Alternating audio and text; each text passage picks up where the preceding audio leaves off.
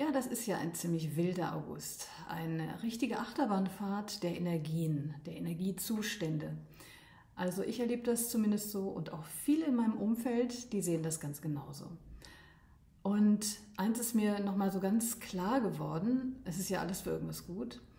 Ähm, du wachst morgens auf und dir geht's großartig und dann auf einmal, ohne ersichtlichen Grund, ähm, ja, fühlt sich alles kacke an. Und äh, du merkst richtig, wie so eine Wolke sich irgendwie vor die, vor die Sonne schiebt, innerlich. Und du fragst dich, was ist da los? Das liegt einfach an dieser Anhebung der Frequenzen. Also kollektiv gesehen, und das heißt, das ist eben genau der Punkt, wir kriegen das oft gar nicht mit, wenn wir, so wie ich jetzt zum Beispiel, viel zu Hause sind und ähm, gar nicht so viel draußen unterwegs sind aber selbst dann, wenn man also in seinem kleinen Kämmerlein ist, ist es so, dass man davon auch äh, betroffen ist. Also die Energien im Außen werden angehoben von der Erde, die Schumann-Frequenzen und so weiter. Das wird beständig angehoben. Und ähm, was passiert? Wir fühlen uns scheiße. Und das passt erstmal vom Verstand her gar nicht zusammen. Logisch, weil wir denken, ja, wenn die Energien hochgehen, dann geht es uns super.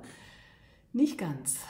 Es ist so ein bisschen so, wie wenn du ähm, in ein dunkles oder halbschummriges Zimmer Licht anmachst und auf einmal entdeckst du, ach du liebe Güte, so viel Staub und so viel Dreck in den Ecken, da muss ich aber mal richtig ausmisten und sauber machen. Und so ist es praktisch auch mit der Energieerhöhung, Energieanhebung. Also wir können dann erstmal wieder Gefühle checken, gucken, was ist da in uns, was, ähm, was vielleicht noch im Dunkeln sich versteckt hat an unguten ähm, Frustrationen oder alten Themen. Und ähm, ja, das Gute ist, es geht relativ schnell dann aber und äh, wir kommen wieder in unser Licht und in unser Strahlen. Ich bin gerade wieder im Strahlen und übe mich genauso wie du wahrscheinlich auch da drin und schicke dir von hier aus alles Liebe.